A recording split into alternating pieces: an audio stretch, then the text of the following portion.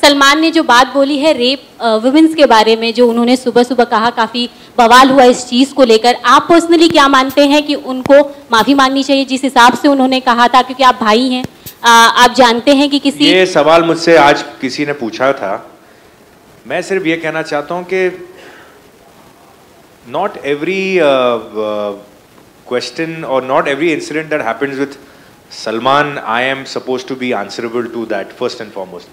मतलब सलमान शादी कर रहा है, नहीं कर रहा है, सलमान की गर्लफ्रेंड कौन है, सलमान क्या बोलता है? सलमान एक पचास साल का आदमी है, जो अपने हिसाब से जो जो बोलता है, मीडिया को बोलता है, अपनी ज़िंदगी जैसे जीता है। मुझसे ये भी पूछा गया कि आपको पता है सलमान का है मैंने बोला, मैंने सलमान पे जीपीआरएस नहीं लगा रखा है कि वो कहाँ है, किधर है, किसके साथ बैठा है शूट अच्छा आपने नहीं देखा क्या हुआ? मैंने बोला, नहीं, मैंने नहीं देखा। आपने नहीं सुना क्या हुआ?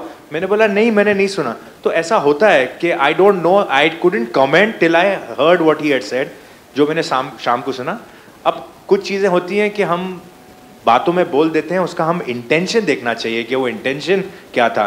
मुझे डेफिनेटली कोई डाउट नहीं है कि सलमान ने जो कहा, उसके अंदर इंटेंशन बुरा नहीं था। It was just a kind of जो अपन किसी चीज़ को कंपेयर करते हैं, या हमको बोलते हैं ना कि मेरे सर के ऊपर पहाड़ जैसा होता है, या कोई, मैं गधे की तरह मैंने काम किया, आप बोलो अरे अभी गधा गधा वर्ड यूज़ किया आपने तो कोई एनिमल एक्टिविस्ट आपके पीछे पड़ जाए। तो कभी कभी आप कुछ चीज़ें आउट ऑफ़ कॉन्टेक्स्ट बोलते हैं, आपका मतलब बुरा नहीं होता, लेकिन अगर आप उसको डिसेंसिटाइज करो या आप मतलब आप उसके ऊपर ओवर सेंसिटिव हो जाओ तो फिर आप किसी भी चीज़ के ऊपर एक विवाद या एक बवाल क्रिएट कर सकते हो।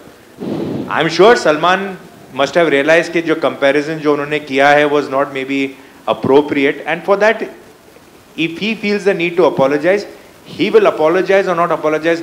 Why are you asking me a question whether he should or not? I don't think it's fair.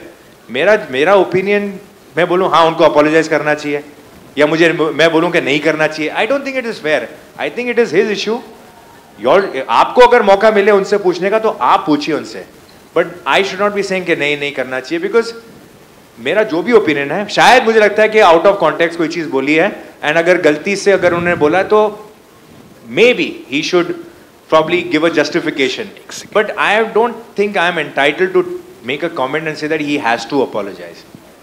I would hope that he gives a clarification for whatever because controversy हो गई है तो उसका एक एक बनता है कि एक एक uh, जवाब देना बनता है क्योंकि ये people look up to him he has got a lot of following and he's like a youth icon and whatever so if he's made a statement that does not look very appropriate या कान को अच्छा नहीं लगा है तो शायद I think in time he will give a statement. But Arbaaz uh, Salim साहब ने इस पे माफ़ी मांगी है सलमान के बिहाफ पे देखो, सलीम साहब इज़ इज़ द फादर अपने बच्चों के लिए कोई चीज़ अगर कोई लोगों को लगता है कि कुछ गलत हुआ है या कभी कभी आदमी इस वजह से भी माफ़ी माँगता है क्योंकि किसी को कोई चीज़ बुरी लगी हो कि यार, चलो, मैंने, मेरी गलती नहीं है, मैंने कुछ, मुझे नहीं लगा, मैंने कुछ ऐसा कहा, लेकिन आपको बुरा लगा तो मैं माफ़ी माँगता हूँ। हमेशा माफ़ी मांगने का रीज़न इस वजह से नहीं होता है क्योंकि you are genuinely sorry about what you said और done sometimes because you have hurt somebody sentiments because you have said something that is not so appropriate you apologize for that.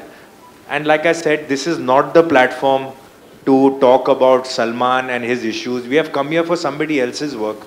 Let's finish that, and then maybe at some other stage we can talk about this. Thank you. So I much. think it's not fair. These people are not interested in uh, answering what Salman Khan has said at the end of the day. Thank you so much.